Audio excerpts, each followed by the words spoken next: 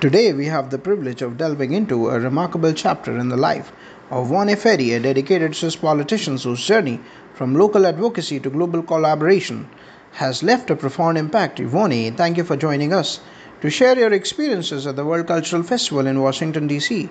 It is a pleasure to be here. Thank you for having me. Wani, you have had a rich career in politics, advocating for social justice and women's empowerment. How did your involvement in the World Cultural Festival align with your lifelong commitment to these values? Participating and participating in the World Cultural Festival was an extension of my belief in the power of cultural exchange and dialogue to foster understanding and harmony. Throughout my career, I have witnessed firsthand the transformative power and impact of bringing people together from diverse backgrounds to work towards common goals. This event provided a unique platform to celebrate our shared humanity and promote peace through intercultural understanding. Can you tell us about your role in the reception committee for the festival and how it intersected with your career experiences? As a member of the reception committee, my role was to help facilitate the participation of Swiss delegates and ensure that our representation reflected the values of inclusivity and mutual respect Drawing on my background in politics and advocacy, I work closely with organizers to coordinate logistics and promote Swiss culture and values on the global stage. It was a humbling experience to contribute to such a momentous event alongside esteemed leaders like Gurudev Sri Ravi. How did your interactions with Gurudev Sri Ravi Shankar and other leaders at the festival influence your perspective on global collaboration and cultural exchange?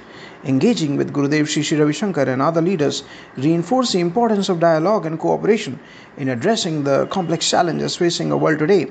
Through conversations and shared experiences, we found common ground and reaffirmed our commitment to promoting peace and understanding across borders. It was inspiring to see how people from diverse backgrounds could come together in solidarity and mutual respect, transcending cultural and ideological divides. Looking back, how do you think your participation in the World Cultural Festival has shaped your approach to diplomacy and international relations?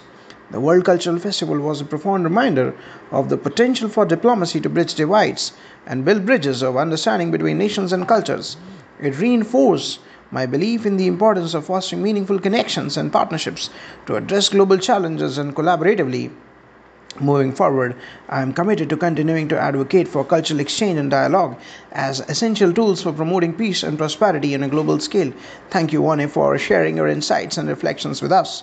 Your commitment to promoting understanding and cooperation is truly inspiring, and we wish you continued success in your endeavors. Thank you for the opportunity to reflect on this transformative experience. I hope that my journey can serve as a testament to the power of unity and collaboration in building a more peaceful and inclusive world. Jai.